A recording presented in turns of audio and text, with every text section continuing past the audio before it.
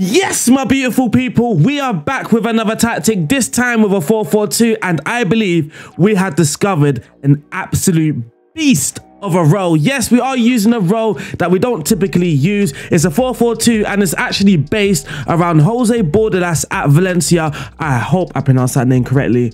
I really hope. so it started out as a recreation. Well, it technically is a recreation, but it's also a very broken tactic in my personal opinion, in my humble personal opinion. So in this video, we are going to analyze the tactic a little bit, look at the tactic in Football Manager, and lastly, we're going to sign off by playing a game. Also, we're going to look at the results as well, if I haven't said that. But let's get stuck in right away.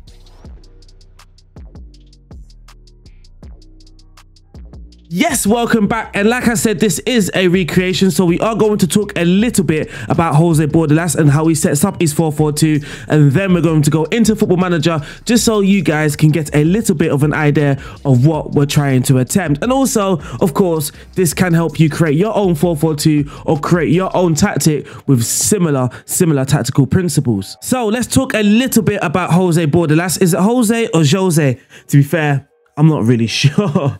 But he likes to get the ball to the front end of the pitch and into wider areas. Then the team attempts to play from there. His team still play with two centre forwards that each provide different styles and could both look to maintain high pressure. And then from the goalkeeper, they will always look to get the ball into the opponent's defensive third. The target for this play is Maxi Gomez. He pulls out wide from his central position and looks to win the ball in the outside channels. Valencia will then look to surround him with players looking to win the second and third balls and then look to attack from that point. So again, that bit there is fairly key for us. They like to play narrowly, they like to play with a target man, it seems, and they like to surround that target man with bodies. In case they lose the first ball, they can win the second ball. If they lose the second ball, then they can win that third ball. The rest will compress the space and push up high as Bordalas likes his team to win the ball and play in the opposition's half. This helps when the pass into Maxi Gomez is not successful and and the opposition wins the ball. The team will be positioned higher up the pitch to press as they look to win the ball back immediately. Again, this will be key. It does look like they do like to counter press, especially higher up the pitch if they do lose that first ball. And looking more into their narrow attack, we can see how much of a trait this really is. A common trait of Valencia this season when playing a 4-4-2 system has been how narrow their attack becomes. The purpose of this is to attack the penalty area with numbers and give multiple options from crossing positions. It can also create a central overload. It also provides Valencia with the chance to get their most attacking players closer to each other and closer to the opponent's goal. Now moving on to their defensive wingers and this part for me is the intriguing part and this is actually how we found the broken role or beast of a role in Football Manager trying to replicate their defensive winger system. The team has occasionally transitioned into a 6-3-1 or even an asymmetrical 5-4-1 defensive shape as the wide players are dropping into the defensive line to support the fullbacks who sit narrow. In this example, this stops Valencia from being vulnerable if Villarreal attempts to switch the play and overload the opposite side of the pitch. And this image shows how Valencia doesn't have many options to be able to progress play. Valencia have condensed play on one side and protected themselves on the other. This forces Villarreal to play the ball back into their own half of the pitch. And this is not an uncommon trait for Jose Bordalas. At times this season and throughout his time at Getafe, he would pick his fullbacks to play in the winger positions and even play centre backs to play in fullback positions, something that a lot of us football manager players have done during their offline saves. So that there wraps up the brief tactical analysis of Jose Bordalas. You can find the full article, the link will be in the description, so shout out to Total Football Analysis with that article. For now, we're going to go into Football Manager and we're actually, what should we do? Should we look at the results or create the tactic? Okay, first off, yeah, first off, we are going to look at the results brief. No, first off, we're going to create the tactic. We're going to create the tactic, look at the results briefly, very briefly, and then play that game. So let's head over to the tactical screen.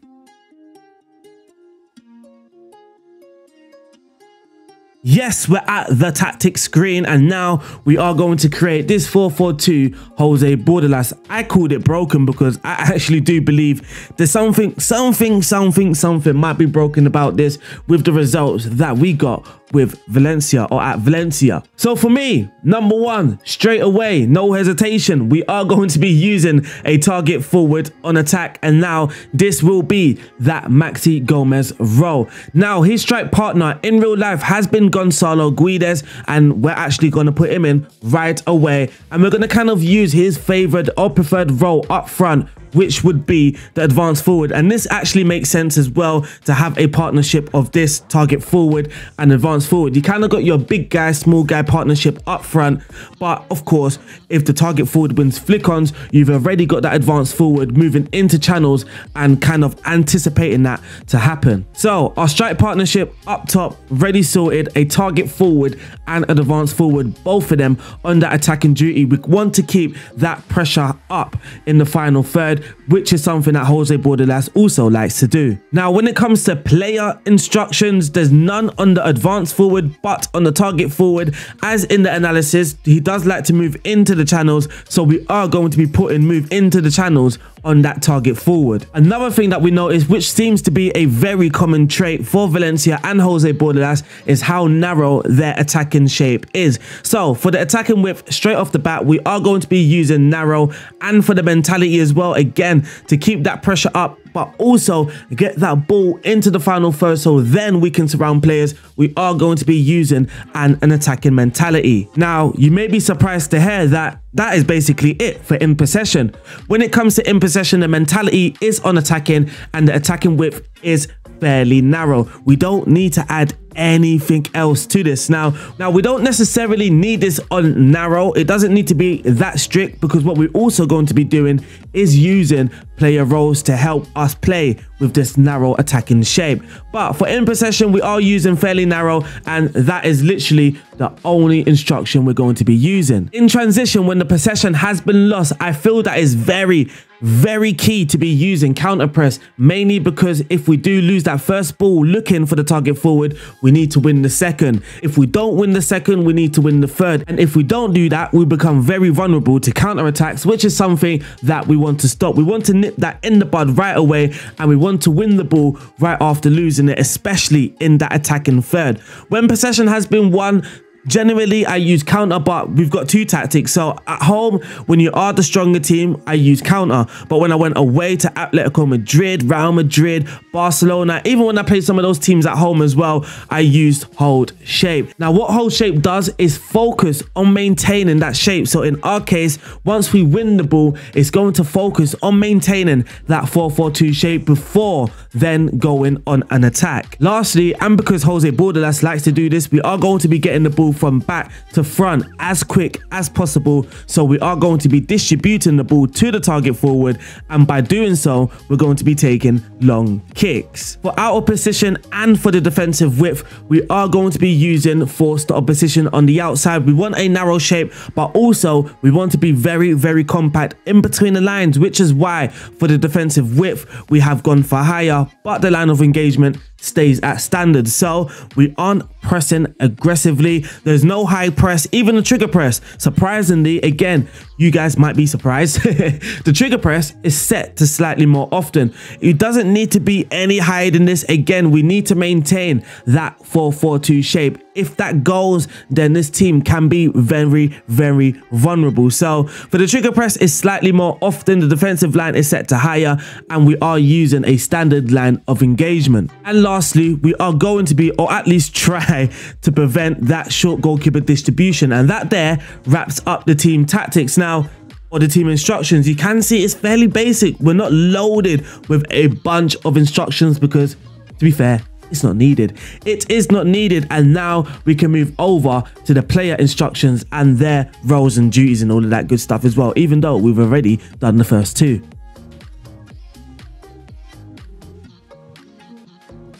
So at the back in goal, we do have a goalkeeper, just standard, nothing special here, absolutely nothing special here. But at the back, the two centre backs, we do have one central defender, someone that just plays calm, composed on the ball, where his partner is a ball playing defender, someone a little bit more expressive. He has the license to dribble with it and play those long diagonal passes or even look for a key pass into that advanced forward. Both of them though will be marking tighter. I feel this is actually a very, very good defensive instruction, especially we're not necessarily very attacking. We still have a very narrow shape. We have little, um, we have little space in between the lines. I feel that we can mark tight and mark special players out of the game. At the back as well, we do have a nice balance with a wing back on attack looking to get further forward, whilst the right back will be a fullback on support again, where we have one a little bit more expressive, getting further forward, running down the byline, putting crosses in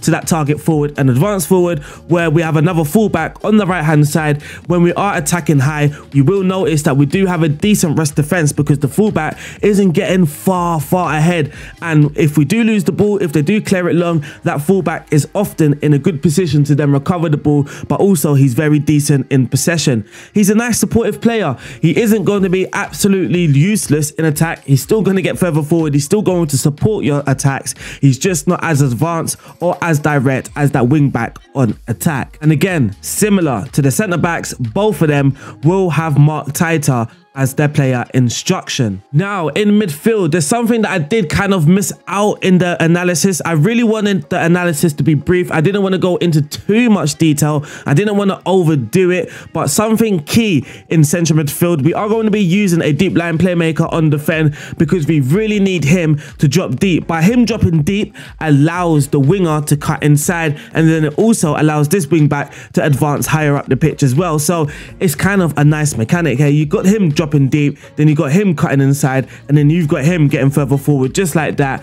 Absolute beautiful movements. Now, the deep line central midfielder's partner is, of course, not going to be a central midfielder on defend. Instead, he's going to be that box to box, the link between defense and attack. You kind of need that energizer in midfield, especially once we have this stationary role. The deep line playmaker on defend, he's not necessarily going to move from his position. So at least with his partner, he can kind of cover ground and help us in midfield, help us win that midfield battle. Again, both of their instruction is to mark tighter. Now, because we've already done the two strikers, lastly, we are going to be moving into the midfield wingers, and this is where the special role comes in. Now, this is where I believe these roles, or this role in particular, because Carlos Soler, Carlos Soler here had an absolute amazing season. He had an absolute amazing season playing as a right winger. He played 33, he scored 20 with 15, 15 assists and 10 man of the match awards. So on the left hand side, we are going to be using a wide midfielder. Yes, a wide midfielder on support. Now, I'm not sure how many of you guys have tried out a wide midfielder, but for me, the reason why in this system I wanted to try that wide midfielder was to try and get that defensive winger role without using the actual defensive winger because I feel this isn't necessarily what Jose Bordalas uses.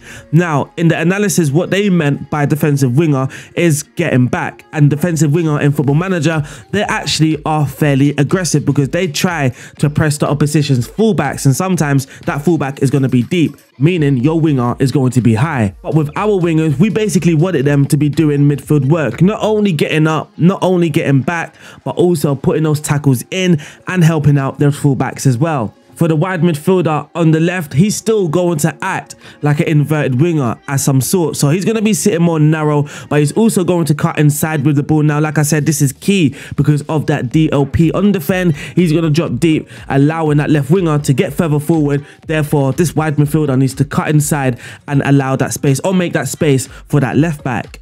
He's also going to be marking tighter and he's going to be dribbling more again like a typical winger. So that is the left midfielder on wide support. Now for the, well, I say this player was broken because he's slightly different. He's a wide midfielder on attack. Now, I'm not sure if we actually compare. So my left winger was often Bryan Gil, who's actually played 36. He scored six and nine assists as well, which is, isn't that bad. It's not that bad, but in comparison with Carlos Soler, I mean, there is a difference. And, and possibly the wide midfielder on attack is what is beasting out this role. And similarly, like the left midfielder, he needs to sit more narrow, cut inside and dribble more, typically like a normal winger, but also cutting inside like an inverted winger. And also he will be marking tight. And that there, literally wraps up the tactic. That is that's the tactic. That is the tactic. It is fairly basic. Generally, we are countering. It is fairly basic, nothing special, nothing too heavy. There's not a lot of instructions loaded. We're not pressing high as well. So again, it's fairly different. It's kind of a mid block. You're operating in a high to mid block and you aren't pressing aggressively. So your players aren't just knackering out. So this should work in multiple leagues and different teams. It worked with Valencia, who are predicted to finish eighth. They are predicted to finish eighth. So now it's time to look at the results to see where we actually ended up and just to see the results in general.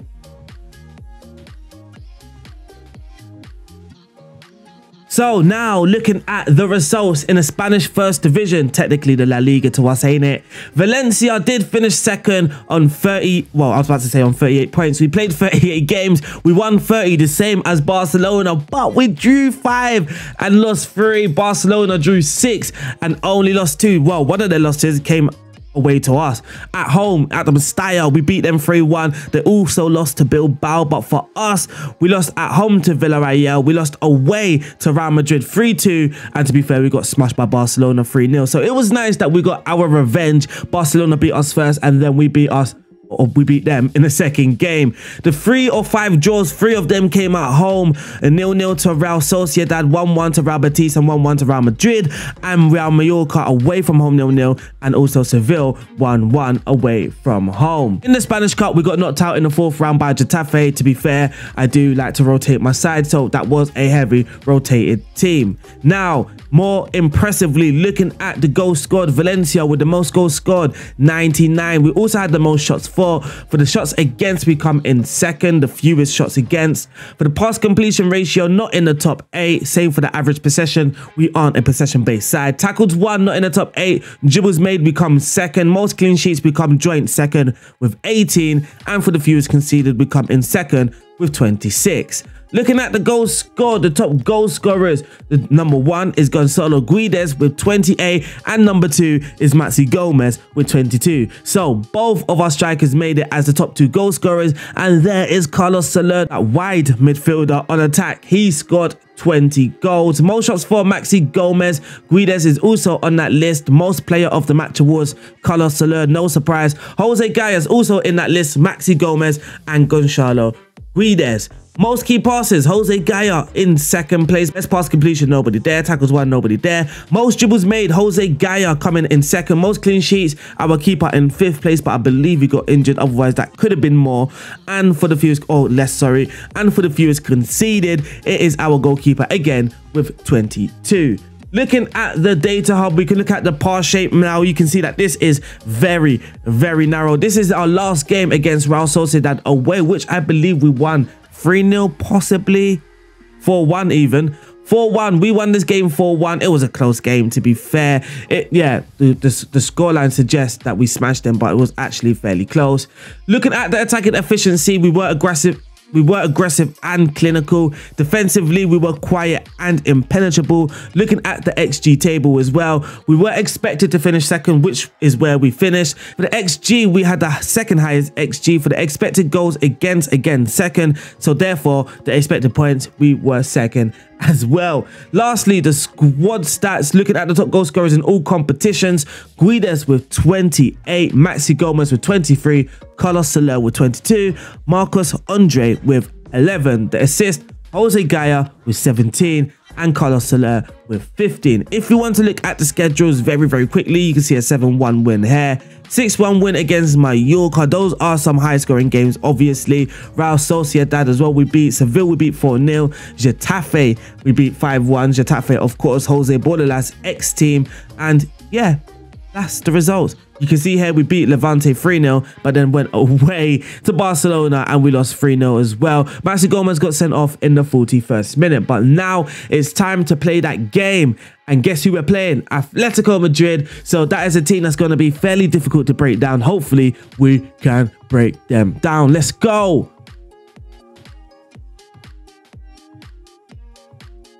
So this here is the team. Now, worryingly, Jose Gaya is absolutely knackered. It's not like Carlos Soler is absolutely fit neither. But also Gonzalo Guedes, the top goalscorer, is out. He is out. So if we do manage to break down Atletico Madrid today, even more so impressive if we do it in style. But oh, here's Jose Gaya from a corner, whips it in. Lemar heads it out. Gaya collects the ball again. Oh, it's a decent tackle. But Paulista collects the ball. Carlos Soler, Moriba, Paulista, Thierry. I mean, we're being a bit patient there. Patient is not our game. Alderete. I don't like this. One of them are going to lose it. Oh. There is a fullback right there. Why do they always ignore the fullback? The goalkeeper plays it to him, though. Here's Thierry. Play it down to Soler. Soler, far post. Maxi. Clockwork. Absolute clockwork. That has happened a lot. Oh, no. Oh, no.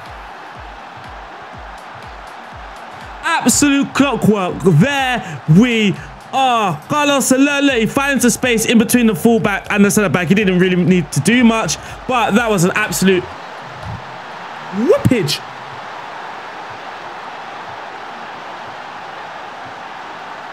Whoopage. Atletico are starting to get into the game, so I am going to demand more from the boys. It's a fairly, fairly boring game as it stands. The wing back needs to get further up. He needs to get further up. So what I'm actually going to do with that wing back now, it's go to my tactics. I'm going to try and take Mark Tighter off and see if that helps.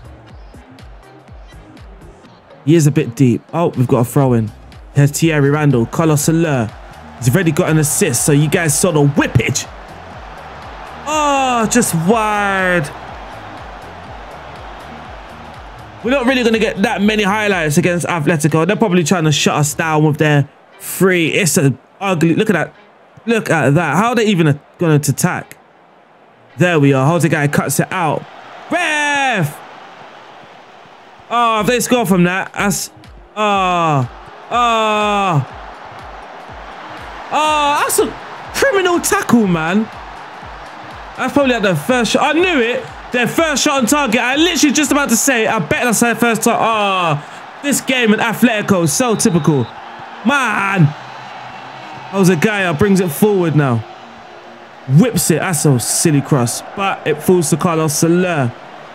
There's an overlap. Oh. Carlos Soler plays it. Finally plays it to the fullback.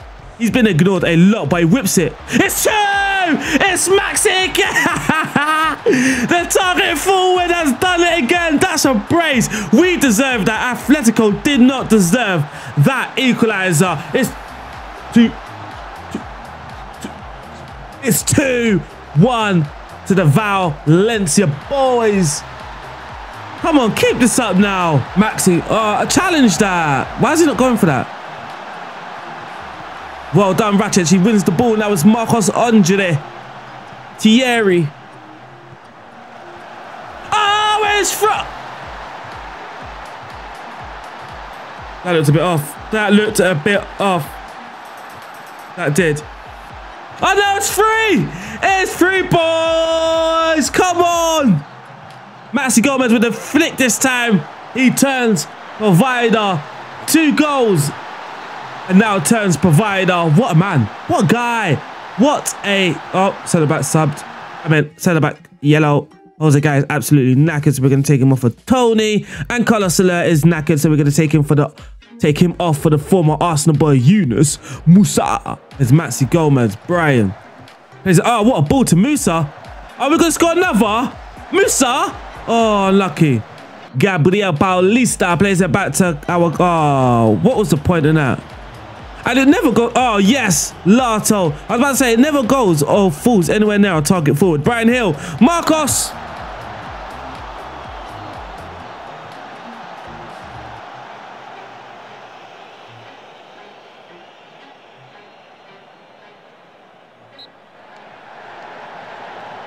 Maybe I need to shush. Maybe I need to shush. Wow. That goal looked like a well-worked goal as well. Also, hint. So they're playing the three at the back. So I've actually spreaded my defensive width because I noticed three at the back playing narrow, you literally give them so much space out wide. Oh, they've switched to 4-4-2. I mean, it's probably not going to make any difference now, but they've switched to 4-4-2. And that there, my friends, wraps up this game. Valencia 3, Atletico 1. They only had two shots on target. Of course, they scored one of those. But Maxi Gomez scores a double. And Marcos Andre, the backup striker, helps us complete or seal the win. And that there, unfortunately, wraps up this game. I hope you guys have enjoyed, oh, wraps up this video, sorry. I hope you guys have enjoyed it. Try it out, a broken 4-4-2. But even if you don't try out this tactic, make sure you try out that wide midfielder role. It is really, really intriguing. I will see you guys soon on the next one. Take care. Thank you for watching. Shout out to all my patrons as well. I'll see you guys soon. Stay safe. Peace out. Bloop.